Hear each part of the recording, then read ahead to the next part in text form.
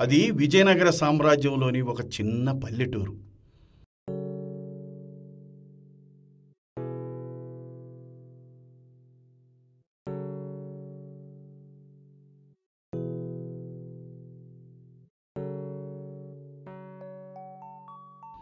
ఆ గ్రామంలో ఆదికేశవులనే బ్రాహ్మణుడు ఉండేవాడు.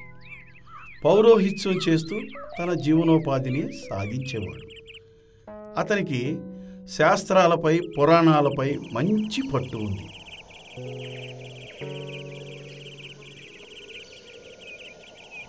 తన పౌరోహిత్యం చెప్పటానికి ప్రక్కనే ఉన్న మరో పల్లెకు బయలుదేరాడు ఆదికేశం. తమ గ్రామం నుండి ప్రక్క గ్రామానికి వెళ్ళాలంటే క్రూర మృగాలు ఉండే అడవిని తప్పనిసరిగా దాటాల్సిందే. ఆదికేశవులు ఆ అడవి మార్గం గుండా వెళ్ళసాగాడు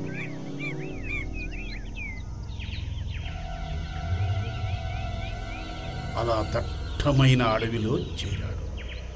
హఠాత్తుగా కొన్ని శబ్దాలు. వినిపించసాగాయి. ఆదికేశవులకి ఆ శబ్దాలు విచిత్రంగా తోచాయి. కొద్దిగా భయాన్ని కలిగించాయి. అతడు చుట్టూ కలిగి చూశాడు.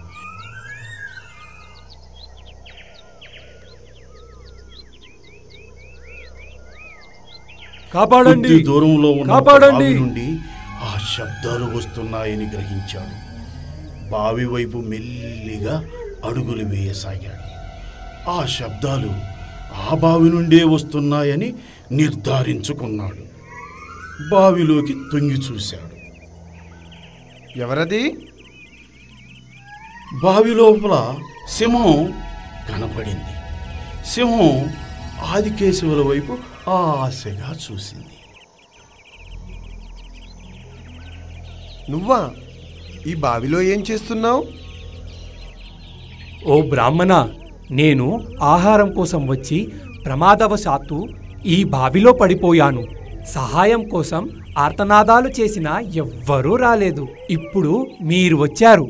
మూడు రోజుల నుండి తినడానికి ఆహారమే లేదు. పచ్చి మంచినీళ్ళు కూడా లేవు. నన్ను ఇక్కడి నుండి బయటకు తీసి పుణ్యం కట్టుకోండి. నేను నిన్ను పైకి తీసుకురాలేను. నువ్వు క్రూర మృగానివి. పైగా మూడు రోజుల నుండి ఏమీ తినలేదని నువ్వే చెబుతున్నావు. ఓ బ్రాహ్మణ నేను క్రూర మృగాన్నే కాని సహాయం చేసిన వారికి అపాయం తలపెట్టే అంత మూర్ఖుణ్ణి మాత్రం కాదు. నీవు నాకు సహాయం చేయకపోతే ఆకలితో అలమటించి మరణిస్తాను. ఓ సింహరాజా నీవు చెప్పినది సబబుగానే ఉంది. కానీ ఇన్ని శాస్త్రాలు తెలిసిన నేను ఒక క్రూరముగానికి బలి కావడం ఎంతవరకు సమంజసం చెప్పు. అందుకే నేను నీకు సహాయం చెయ్యలేను ఓ బ్రాహ్మణ శాస్త్రాలు తెలుసునని నువ్వే అంటున్నావు. ఒక ఆపదలో ఉన్న ప్రాణిని చూస్తూ పట్టించుకోకుండా వెళ్ళమని మీ శాస్త్రం మీకు చెబుతుందా? మన శత్రువైనా సరే ఆపదలో ఉంటే సహాయం చేయడం ధర్మమని మన పెద్దలు చెప్పినదే కదా. అది మీరు మరిచారా? ఆకలితో ఉన్న క్రూరముఖం శాస్త్రాలు పురాణాలు వెళ్ళవేయడం హాస్యాస్పదంగా ఉంది. నా దారిన నేను వెళతాను. ఆగు బ్రాహ్మణ వెళ్ళే ముందు ఒక మాట విను. నీవు నాకీ సహాయం ఊరికే చేయనవసరం లేదు. నీకు తగిన ప్రతిఫలం ఉంటుంది. నిస్సహాయ స్థితిలో పడి ఉన్న క్రూరముగానివి నీవు నాకేం ప్రతిఫలం ఇవ్వగలవు? నీవు నాకు సహాయం చేస్తే వజ్రాలు పొదిగిన ఈ బంగారు కడియాన్ని నీకిస్తాను. ఆలోచించుకో ఎన్ని పూజలు ఎన్ని పౌరోహిత్యాలు చెబితే ఇంత సంపాదించడం సాధ్యమవుతుంది. సింహరాజా నీవు ఎంత చెప్పినా నేను నీకు సహాయం చెయ్యలేను. వెళ్ళి వస్తాను. ఆదికేశవులు అక్కడ నుండి వడివడిగా అడుగులు వేస్తూ బయలుదేరాడు. అతడి మనసు మొత్తం ఆ వజ్రాలు పొదిగిన కడియం పైనే ఉంది. ఎంత మర్చిపోదామన్నా మరచిపోలేకపోతున్నాడు.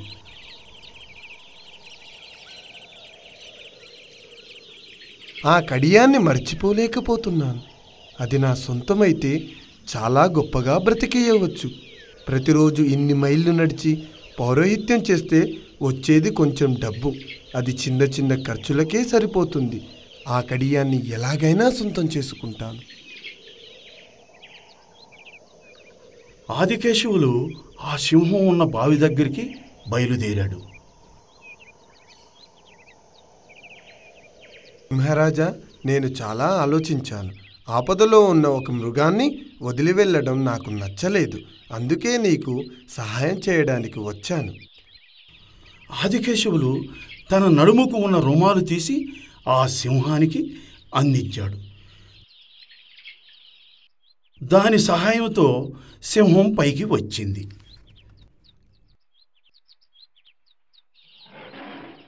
ఓ పవిత్ర బ్రాహ్మణ నీకు ధన్యవాదాలు. నేను జీవితంపై ఆశలు వదులుకున్నాను.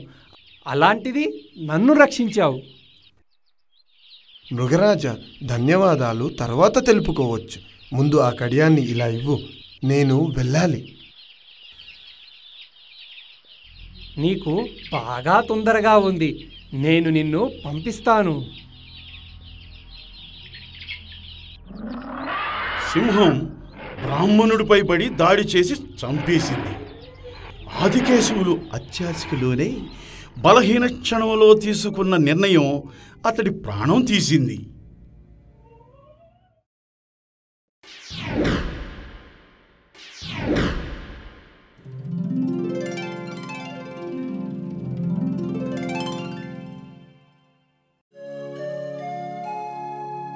అది కృష్ణాపురం అనే గ్రామం. ఆ గ్రామంలో గంగులు అనే రైతు ఉండేవాడు.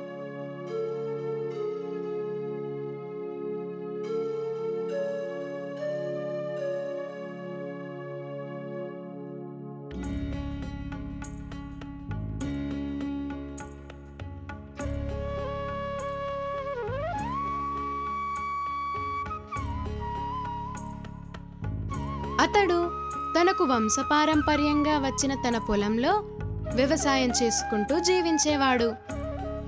ఇదే క్రమంలో అతడు పుచ్చకాయల తోట వేశాడు.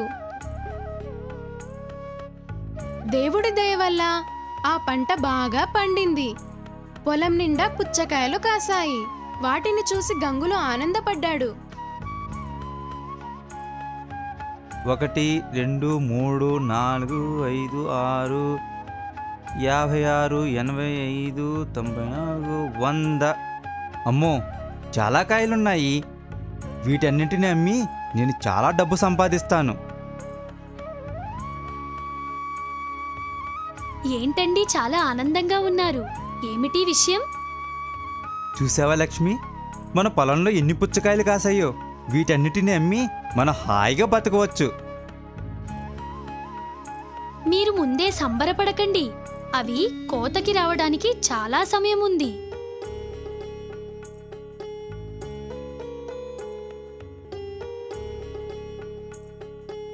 ఆ భార్యాభర్తలిద్దరూ అక్కడి నుండి ఇంటికి వెళ్ళిపోయారు.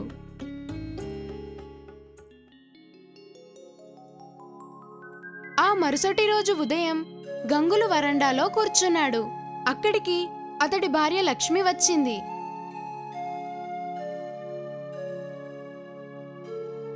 ఏవండి? ఏవండి?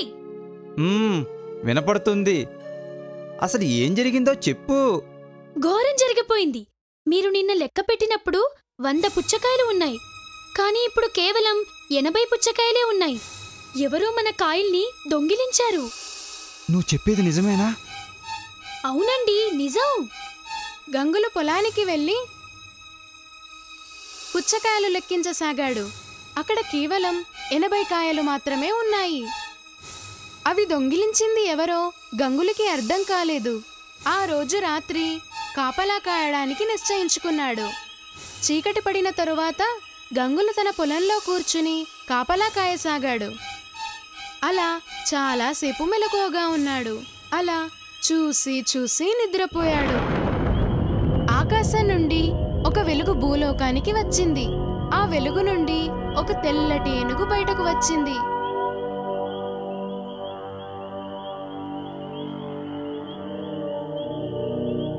ఆ ఏనుగు చాలా అందంగా అలంకరించబడి ఉంది. అది గంగుల పొలంలోకి వెళ్ళి అక్కడ ఉన్న పుచ్చకాయలను తినసాగింది.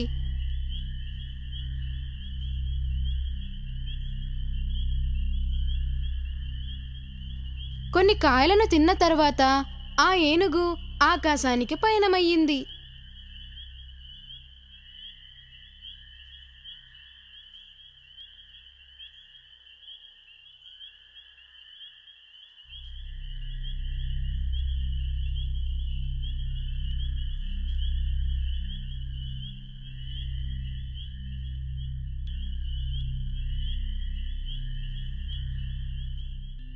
గంగులు నిద్రలేచి చూశాడు. మరిన్ని పుచ్చకాయలు తగ్గాయి. అసలు వాటిని ఎవరు దొంగిలించారో? గంగులకి అర్థం కాలేదు.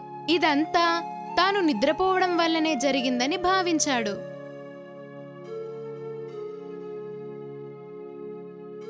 ఆ రోజు రాత్రి నిద్రపోకూడదని నిశ్చయించుకున్నాడు. చీకటి పడగానే పుచ్చకాయల కాపలాకి వెళ్ళాడు.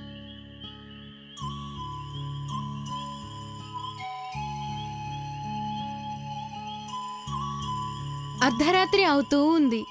ఇంతకు ముందులాగానే ఆకాశంలో ఒక మెరుపు మెరిసింది. ఒక తెల్లని ఆకారం భూమిపైకి వస్తూ ఉంది. అమ్మో! ఏమిటది? ఆ మేఘం నా పొలం మీదకు వస్తుంది. నేను వెళ్ళి దాక్కుంటాను. గంగులు వెళ్ళి ఒక చెట్టు చాటున దాక్కుని గమనిస్తూ ఉన్నాడు. ఒక తెల్లని ఏనుగు అతని పొలంలో దిగింది. ఆ ఏనుగు పొలంలో ఉన్న పుచ్చకాయలను తినసాగింది. అమ్మ దొంగ నా పొలంలోని పుచ్చకాయలని నువ్వే తింటున్నావన్నమాట. ఈరోజు నిన్ను పట్టుకుని బంధిస్తాను. గంగులు వెళ్ళి ఏనుగు తోకని పట్టుకున్నాడు. ఆ ఏనుగు గంగులతో పాటుగా ఆకాశంలోకి ఎగిరింది.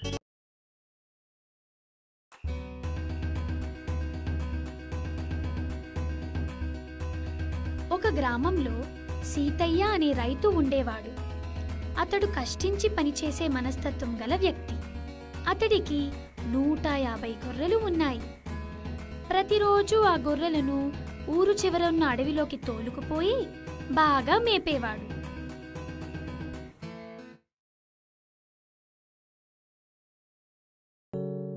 మరలా సాయంత్రం తన ఇంటికి వచ్చేవాడు.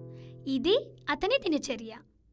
గొర్రెల వల్ల వచ్చిన ఆదాయంతో అతడు హాయిగా జీవించసాగాడు. అంతా బాగానే ఉంది కానీ అతడికి పదేళ్ళ కొడుకు ఉన్నాడు. వాడి పేరు బండరాముడు. వాడి పేరుకు తగ్గట్టుగానే వాడు సోమరి పని చేయడం చేత కాదు వాడికి చదువు కూడా అబ్బలేదు. ఇంటి దగ్గరే ఉంటూ జూలాయిగా తిరగసాగాడు. వాడు అలా చేయడానికి ఒక కారణం ఉంది. వాళ్ళ తండ్రి సీతయ్య ఒక్క కొడుకు అని గారాభం చేశాడు. అదే ఇప్పుడు ఆ రాముణ్ణి బండరాముడిగా మార్చింది. ఇదిలా ఉండగా ఒకరోజు సీతయ్య పని మీద పక్కనే ఉన్న టౌన్కు వెళ్ళాల్సి వచ్చింది. గొర్రెలను కాయడానికి ఎవరూ లేరు. తన కొడుకుని గొర్రెలు కాయడానికి నిశ్చయించాడు. వాడికి గొర్రెలు కాయడం అస్సలు ఇష్టం లేదు. కానీ తన తండ్రి మాట కాదనలేక వాటిని తోలుకొని అడవికి బయలుదేరాడు. ఆ అడవిలో ఒక చెట్టు కింద కూర్చొని ఆలోచించసాగాడు.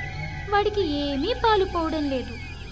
ప్రతిరోజు ఊర్లో తిరుగుతూ తుంటరి పనులు చేసేవాడు. ఇంటి మీదికి ఒక్క గొడవైనా తీసుకొచ్చేవాడు. ఇవన్నీ చేస్తే వాడికి ఆనందంగా ఉండేది. కానీ వీడికి ఈరోజు ఏ సరదా లేకుండా పోయింది.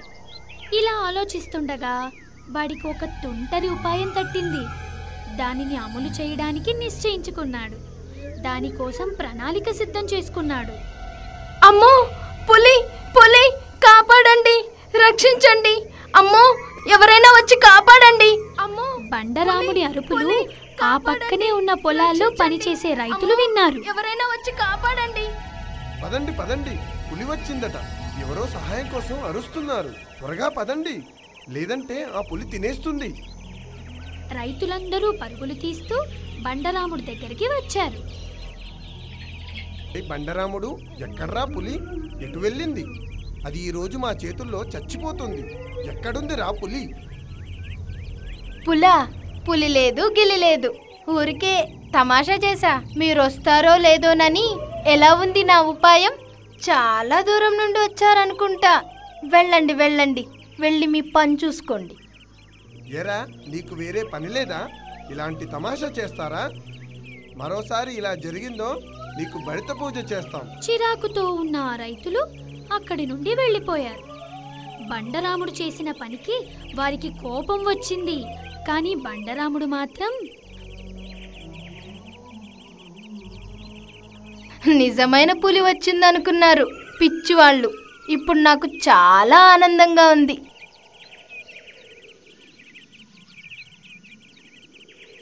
బండరాముడు మరో ఉపాయం కోసం ఆలోచించసాగాడు. కానీ వాడికి వేరే ఉపాయం తట్టలేదు.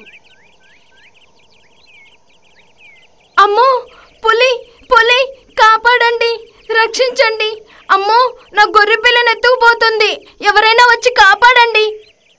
బండరాముడి అరుపులు విని అక్కడికి పరిగెత్తుకు వచ్చారు ఆ రైతులు. ఏ బండరాముడు ఎక్కడ్రా పులి? ఎక్కడుంది? చెప్పు. గొర్రెను ఎత్తుకుపోయిందా? హహహ, పులా పులి లేదు గిలి లేదు మీరు మళ్ళీ వచ్చారా? వెళ్ళండి వెళ్ళండి. మీ పని చూసుకోండి. రైతులు కోపంతో అక్కడి నుండి వెళ్ళిపోయారు. బండరాముడు మరో ఉపాయం ఆలోచిస్తూ అటూ ఇటూ పచార్లు చేయసాగాడు.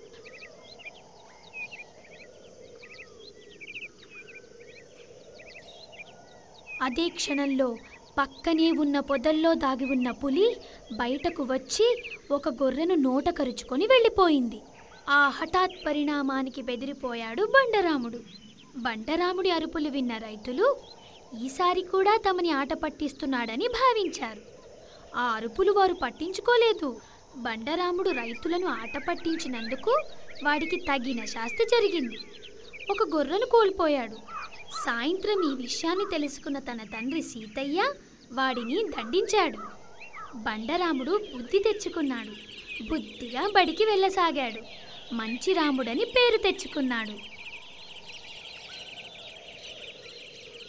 అడవి ఉండేది.